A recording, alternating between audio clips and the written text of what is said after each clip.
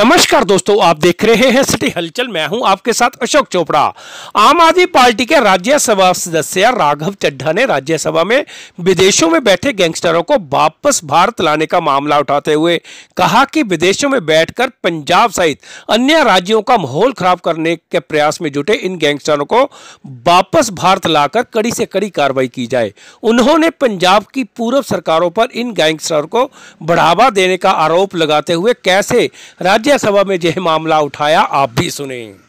माने Shri Raghav Chadha ji. Thank you deputy chairman sir for allowing my notice for special mention the topic of my special mention is concern over non repatriation of gangsters operating from abroad sir आज मैं जिस मुद्दे पर बोलने के लिए खड़ा हुआ हूँ वो मेरे सूबे पंजाब का ही नहीं सर बल्कि पूरे देश के लिए एक बड़ा मुद्दा है।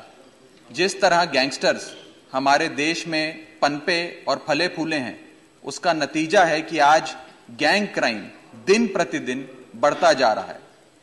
आज से कुछ महीने पहले ही पंजाब में एक मशहूर गायक की गैंगस्टर्स ने हत्या कर दी थी। इन अपराधों के चलते माओ के जवान बेटे जान से हाथ धो बैठ रहे हैं, सर। ये गैंगस्टर्स आज देश ही नहीं दुनिया के कोने कोने में बैठकर इन क्राइम्स को अंजाम दे रहे हैं।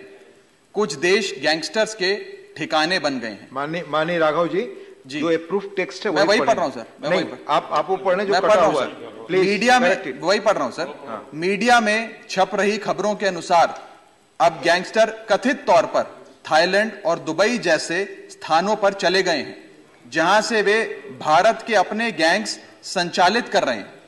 इसके अलावा भारत सरकार की खुफिया एजेंसी खुद मान रही है, सर, कि ये गैंगस्टर्स और आतंकवादी समूह अब मानव तस्करी और नशीले पदार्थों के नेटवर्क का संचालन करने लगे हैं।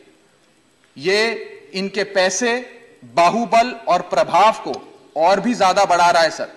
मैं केंद्र सरकार से मांग करता हूँ कि अपना कूटनीतिक कौशल दिखाए, विदेशों में बैठे गैंगस्टर्स को वापस इस देश लाए और यहाँ इन्हें कड़ी से कड़ी सजा दिलवाए धन्यवाद।